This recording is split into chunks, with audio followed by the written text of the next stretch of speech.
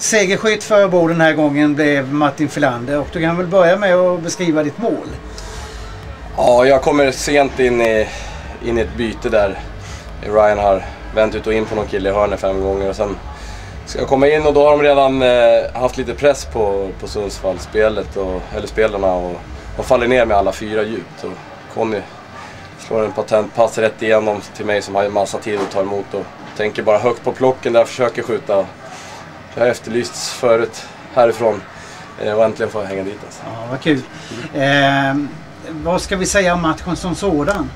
Jag tycker första två perioderna är, eh, de är bra, tycker jag. Vi, vi har sagt att vi ska spela stabilt och göra vårt jobb. Och det gör vi. Det är inget, det är inget flashigt eller snyggt kanske, men eh, vi vill bara vinna den här matchen för att, för att säkra kvalserien. Eh, och inför tredje så, så vi, har vi fått reda på att Leksand har förlorat och att vi, vi är klara. Och då, ja, då blir, smyger det sig in lite sådär andra tankar och vi tappar lite fokus. Men vi tar oss ändå samman och, och tar två poäng. Det tycker jag är, är en styrka ändå. Jag frågade Melke här vad vi kan förvänta oss av Örebro i en kvalserie. Vad tror du? Ja, det kan hända precis vad som helst. Vi har ingenting att förlora, eller tvärtom. Vi har allt att vinna och eh, vi ska gå för det bara. Och jag tror att eh, det kan bli ett överraskningslag. Vad talar för Örebro i en kvalserie om man ska se på era positiva sidor?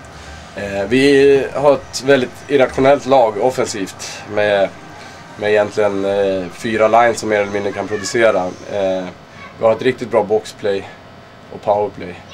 Eh, så att eh, det, blir det mycket utvisningar då, då tror jag att vi, vi tjänar på det så länge vi inte tar alla själva. Liksom. Okej.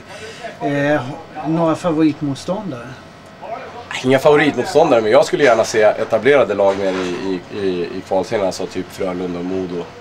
Eh, för jag tror att de inte riktigt har, har eh, ställt sig in på att vara där. Vilket kan göra att man...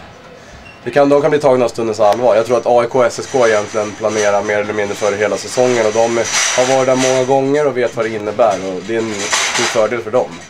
Eh, så att jag önskar mig lite etablerade elitserielag. Säger alltså Martin Filander och vi tackar så mycket för den här gången. Tack. Tack.